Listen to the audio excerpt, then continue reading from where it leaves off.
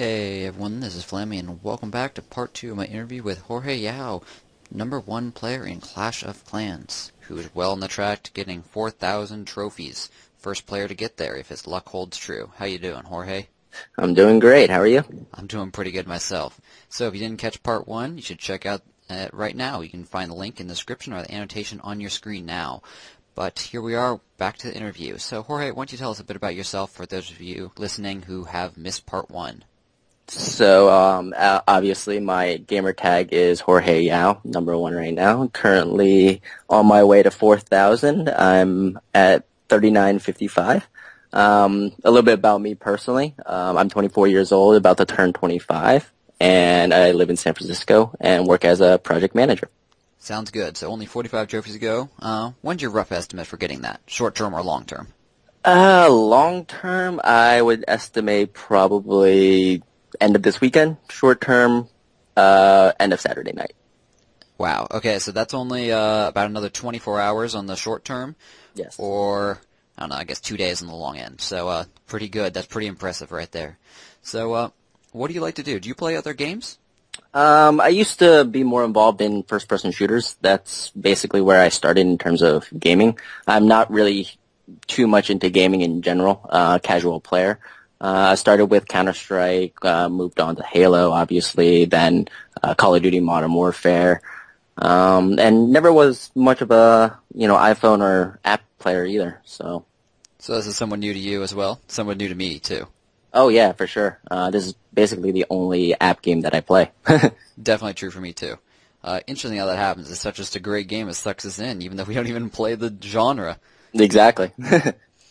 Uh, so, any other games beyond that, or anything you want to talk about gaming wise?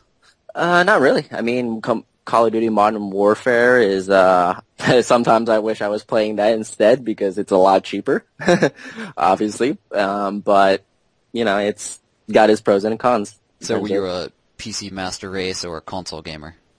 Uh, both actually. I started on PC with Counter Strike, and then moved on to console when Halo came out. Very nice, very nice mostly a console guy myself, but you know what? I try to struggle now and then with uh, getting on those PC first-person shooters. Right.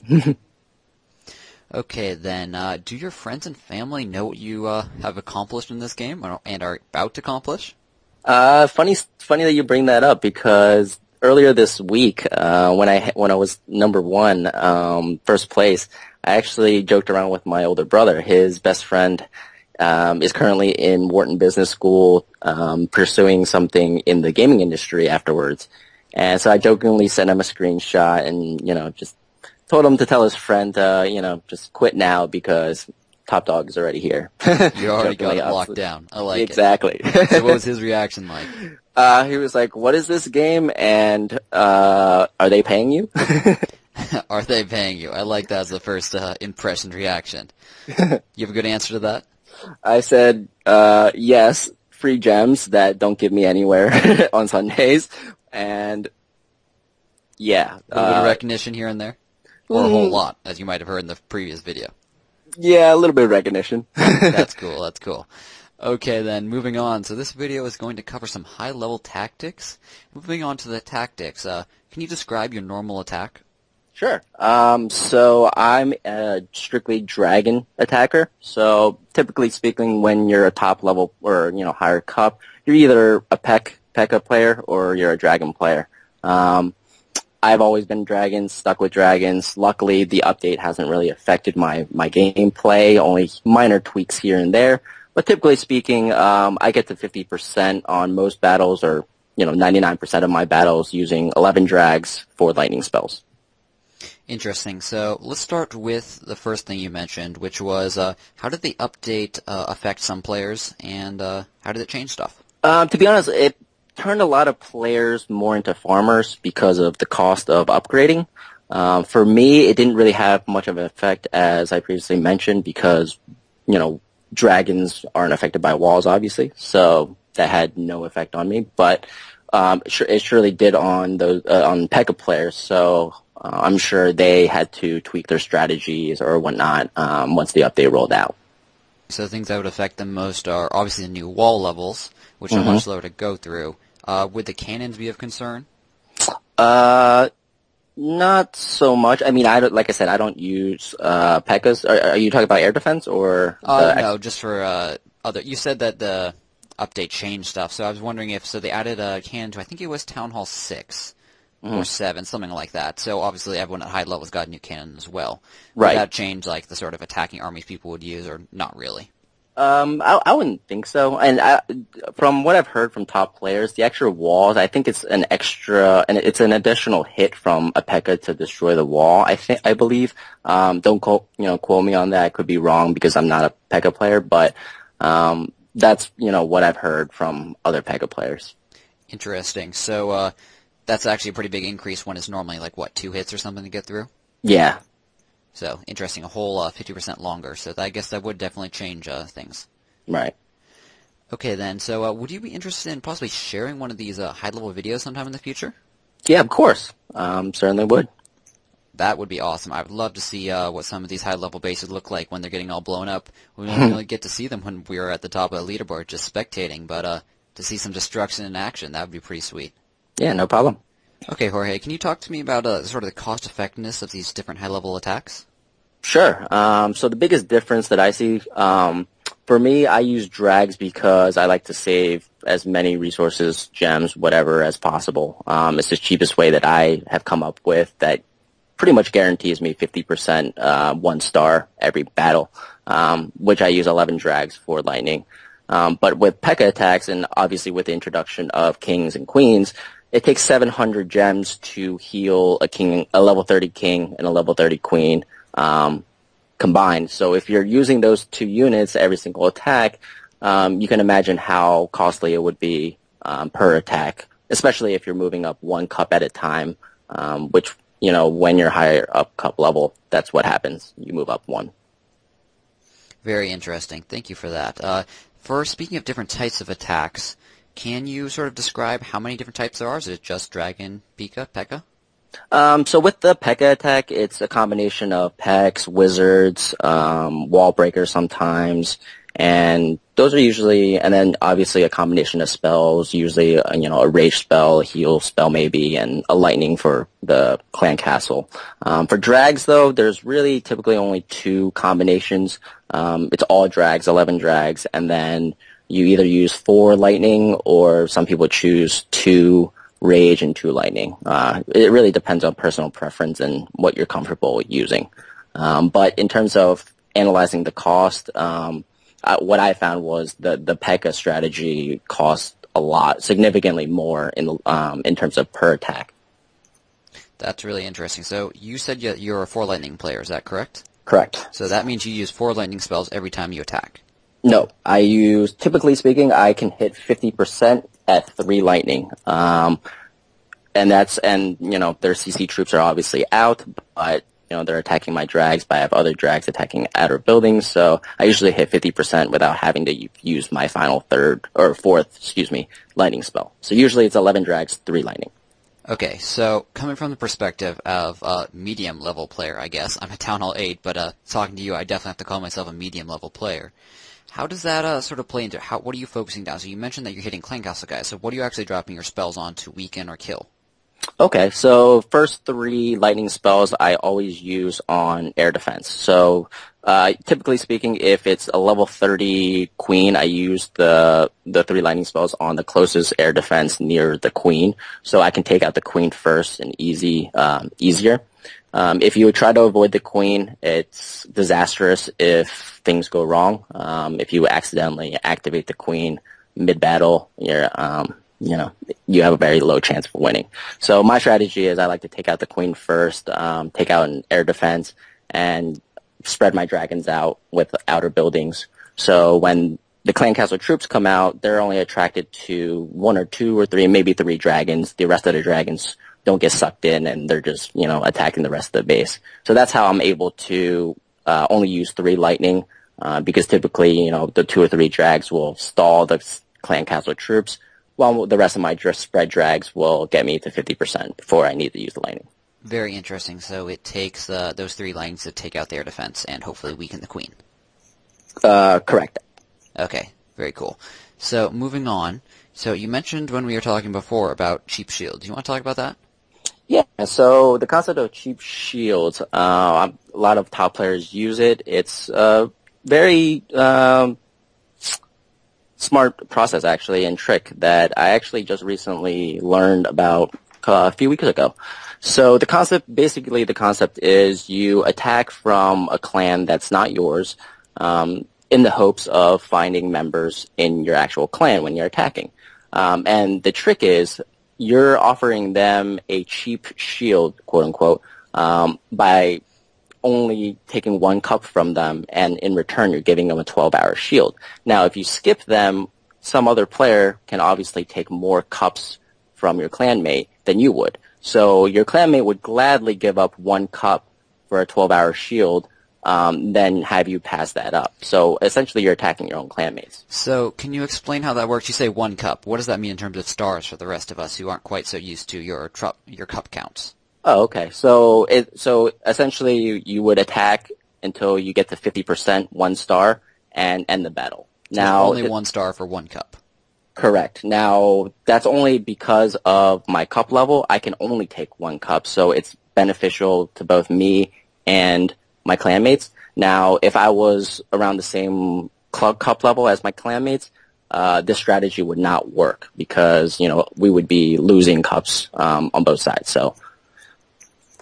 Very interesting. So you mentioned before that there's a revenge part tied into this. Can you talk about how that works? Right. So by giving this service of this cheap shield and you know giving your clanmate this uh, 12-hour shield for only one cup, in return, they have you on their revenge list. So in essence, they can revenge you back uh, for cups. But because 12 Hour Shield is activated at 40% damage uh, without having to, uh, you know, lose a star and lose the battle, they can do return the favor and you can coordinate a revenge where they would revenge you when you tell them you're signing off, essentially. They would revenge you stop at 42% around there, give you your 12-hour shield, uh, but they wouldn't lose any cups either because of the cup difference. Because I'm such a high level, they have nothing to lose in terms of cups. They, I'm a 60 cup, like three star, 60 cups win. They won't lose a single cup if they lose. So it's a kind of a win-win situation. The most they lose is the resources they use to attack me to 42%. And so there's also another win because that means someone else your own level or just below can't attack you as well because you're getting a shield, right? Exactly. So that's a very interesting, very fine-tuned, and requires a lot of communication for this technique to work. Uh, how often are you able to take advantage of this? Um, recently, I've only taken advantage of this probably less than five times, um, and it was all this week. Uh, it's hard to coordinate sometimes when you're dealing with, you know, members in different excuse me, time zones and um, things of that nature. But uh, typically speaking, you know, I've only probably used it five times so far. But once again, you mentioned the previous video, you're pulling 24 and 48 hour marathons on the game. Exactly. So, so I have no real. That's relatively a lot for the number of times you log off. Exactly. Interesting. So, what happens in the sort of situation where you log off without one of these cheap shields of your own? Um, then you're just subject to anyone else attacking you. So obviously your defense, you want to make sure that it's fine tuned so that, you know, the most that they get is one star. So my strategy is I always want to compensate for a defense uh, loss, uh, which is typically uh, losing 18 or 19 cups. So I try to cushion myself uh, at the end of the set, you know, attack session by um, 18 or 19 cups because I know I'm going to lose those if I go on defense. So that means you try to get at least 18 or 19 cups every time you play, which is 18 or 19 wins, so that when you lose at the end of the session, you're still at least back to where you're beginning and not losing ground. Is that right? Correct. Correct. So you're always trying to net positive by um, making up those 18 or 19 as a cushion. Now, if someone two stars you, then you know you're in the hole and you have to make those up the next session. But typically speaking, if you have a decent base, uh, one star shouldn't be a problem. So that sort of seems to indicate that if it takes you like 45 minutes or an hour, say an hour in a bad case, to get those 18 trophies, mm-hmm. that's 18 hours worth of playing every time you log off just to maintain your trophy count? Correct. Wow, that sounds pretty rough. Right. And if you add in a mistake on offense where you lose 39 cups, it's even worse. Ouch, that would be really hard. Right. So how many times have you lost in the last, I don't know, week that you've been up here? Two weeks, three weeks? Um, I probably made mistakes probably three or four times. Um, and the, and by mistake, I mean, you know, forgetting spells or, um, double tapping a spell and, you know, clicking the wrong thing, falling asleep as an example. Um, so that was one so, of the story you told in the previous one?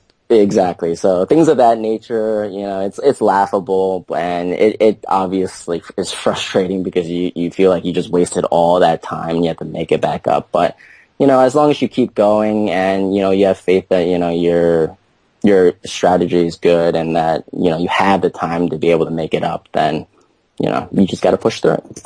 That's uh pretty impressive right there. Only three mistakes in many, many, many hours of gameplay. Uh, I'm sure you're averaging better than I am. So subscribers will know I uh, love to upload my misclick videos, so uh, they can see my failures in full glory. Nice. Okay, then moving on. I'm sort of curious about the sort of atmosphere and feel at uh, high trophy counts between players. Can you talk about that?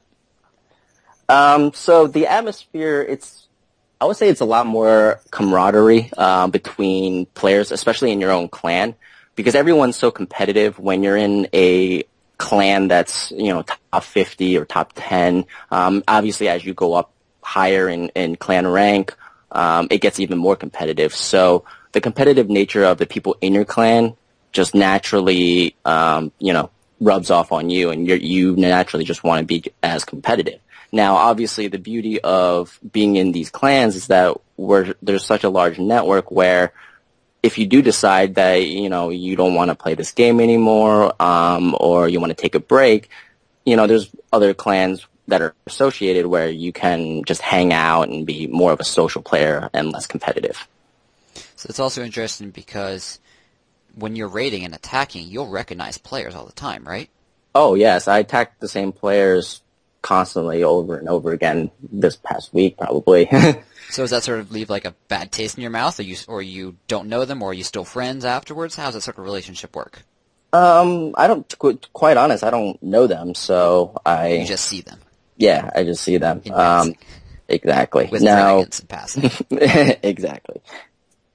So how does this atmosphere sort of translate to uh, clan on clan atmosphere? You mentioned within your own clan, but what about between clans, especially uh, those clans that are vying for the top spot?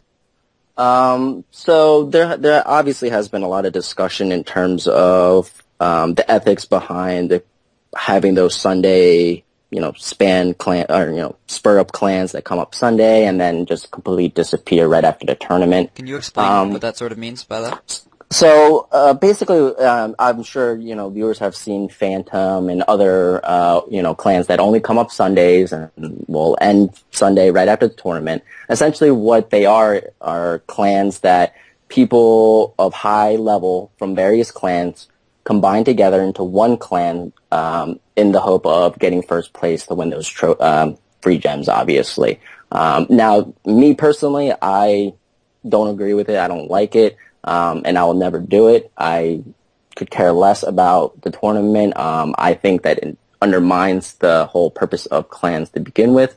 I think the clans should be, you know, a family unit. You stick together through thick and thin. Um, and, you know, just because you're number one player doesn't mean that you deserve those thousand gems every week. You know, that's not the purpose of the game. The purpose is, you know, to develop those relationships and be in a clan that, you know, treats you like your family. So do you think that Supercell sort of changed their policy? They used to sort of give uh, shout-outs to the top three clans when that tournament ended every week. Do you think they sort of changed this in sort of response, sort of silently backing this sort of uh, disapproval that you're expressing? Uh, I believe so. I mean, I can't speak for Supercell, obviously, but I did see, you know, them stopping the the congratulations of the three clans because because of this, um, you know, issue coming up every Sunday. So I mean, I don't think there's really an answer or solution to it without further consequences or other, you know, effects. So, you know, you just have to deal with it. But it is what it is, and, you know, you just have to live with it. it's interesting. Uh, thank you for talking about those clans following me up. As uh, someone who's lower, you see them happen all the time, but you don't really quite understand the dynamics behind them, and that sheds a lot of light on it. Right. So I've heard of this concept called revenge stalking. How does that work at high levels? Okay, so a little bit about revenge stalking. Um, obviously, when someone attacks you, you have the ability to revenge them. Uh, when you click on the revenge button, you, it either says the person's on Shield or the person's online. Now, the concept of revenge stalking is now when you're a really high cup level and you're waiting, you know, sometimes 30 minutes for a good battle where you're only getting one or two cups, you know, if you spend 30 minutes and end up having a successful uh, revenge stalk, that could make up the entire time of you searching just the regular uh, battle queue, let's say. Um, and the concept behind that is you're basically looking at the opponent's base, seeing uh, whether or not their clan castles filled with defensive troops, offensive troops, uh, whether their elixir storage is halfway full, or almost empty, and also whether or not they're online uh, first and foremost. Now, when you do notice these signs of you know, them maybe logging off or signing off, that's when you kind of pay more close attention, keep an eye on their base, and you know, start clicking the revenge button and hope to get lucky. So can you explain how that sort of works? You said there were these signs. Uh, so the elixir emptying out. What does that mean?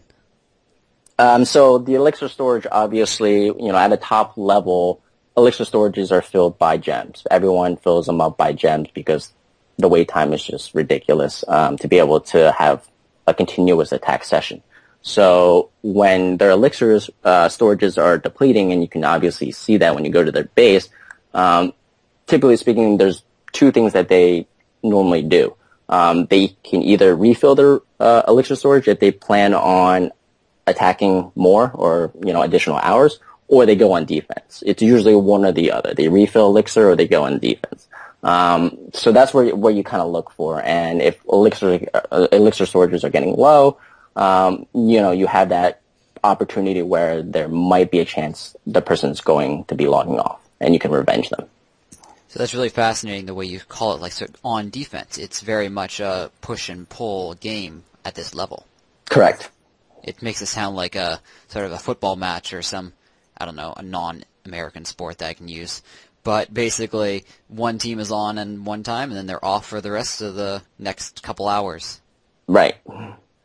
Okay, moving on. You had also mentioned, along with the elixir, you mentioned clan castle emptying out. Uh, won't people have their clan castle full all the time when attacking and defending?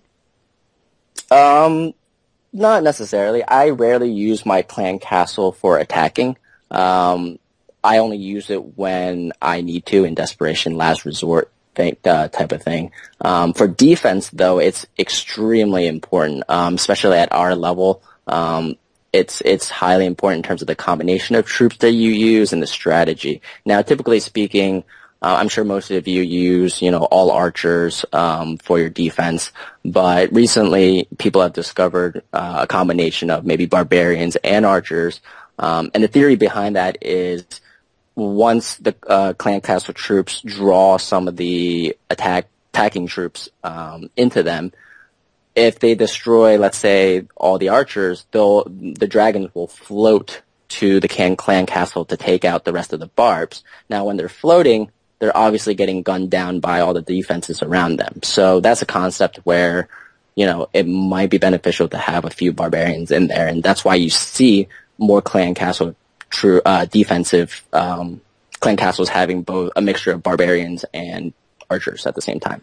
Does it also come into play that uh, when you have just archers, they're all grouped up for lightning spells?